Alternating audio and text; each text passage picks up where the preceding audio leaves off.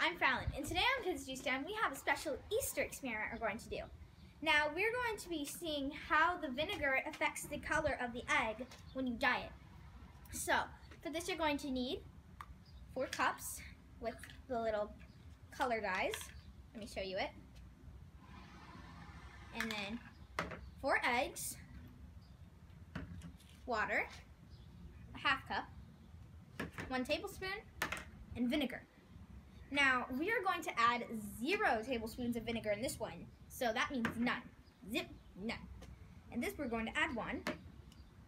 Make sure it's level and nice. You might need to move the bowl a little bit. No. I didn't really add one. Okay, that's one. That's roughly one. And now we add two on this one. One. Two. And now three on this one. One. Two. And three. Okay. Now once that dissolves, we are going to add a half cup of water to each cup. Now we can start with the zero one because, well, there's no vinegar in it. There's nothing to dissolve. And make sure it's filled to the brim and you don't spill it. That's a half cup. And then which one looks like ready? See, the green one looks like it's ready. Okay, the one, the one tablespoon. I did not, I definitely did not add up. Yeah, that's that one. Then this one looks ready.